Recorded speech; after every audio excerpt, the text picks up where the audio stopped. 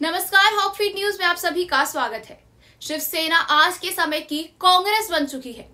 जी हाँ शिवसेना का नाम जहन में जैसे ही आता है तो एक ही बात समझ आती है कि सत्ता और परिवार के लिए यह पार्टी कुछ भी कर सकती है। एक समय अपने आप को हिंदुत्व का झंडा बरदार बताने वाली यह पार्टी आज सिर्फ़ और सिर्फ़ भाजपा विरोध पर उतारू है। फिर इसके लिए उनके नेताओं को चाहे जिस स्तर तक जाना पड़े। शिवसेना से जुड़े ताज़ा मामले की बात करें तो इसके एक नेता ने सुप्रीम कोर्ट में एनसीबी के मामलों और शाहरुख खान के बेटे आर्यन के मौलिक अधिकारों के उल्लंघन की जाँच कराने का आदेश देने का अनुरोध किया है। बता दें कि महाराष्ट्र में राज्य मंत्री दर्जा प्राप्त किशोर तिवारी ने इस बाबत संविधान के अनुच्छेद 32 का हवाला देते हुए याचिका दायर की है। तिवारी ने सुप्रीम कोर्ट के मुख्य न्यायाधीश एन वी रमना से इस मामले में हस्तक्षेप करने का आग्रह किया है। साथ ही साथ तिवारी ने कहा कि एनसीबी दो साल से दुर्भावनापूर्ण उद्देश्यों को लेकर पक्षपात पूर्ण तरीके से फिल्मी हस्तियों को परेशान कर रही है।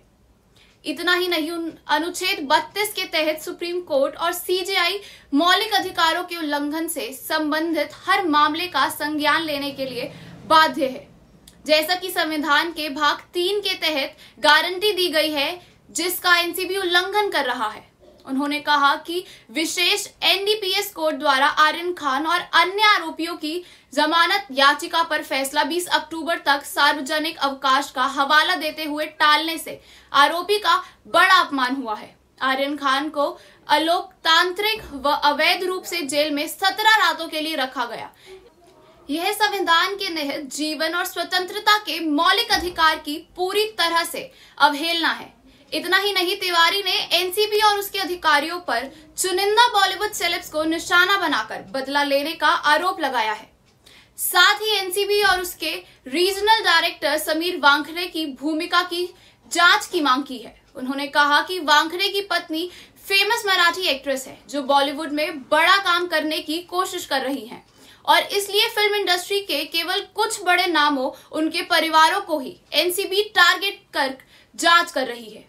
इसके अलावा बता दें कि शिवसेना नेता ने कहा कि सुशांत सिंह राजपूत की मौत के मामले की जाँच के साथ इस पूरी जाँच को एक गलत दिशा में मोड़ दिया गया है।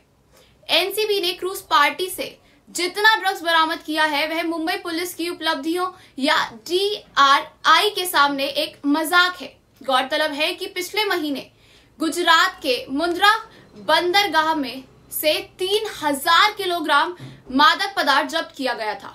आखिर में बात करें तो आज के समय में शिवसेना का कोई भी नेता हो, उसकी कथनी और करनी दोनों में विशेष फ़र्क देखने को मिल जाएगा।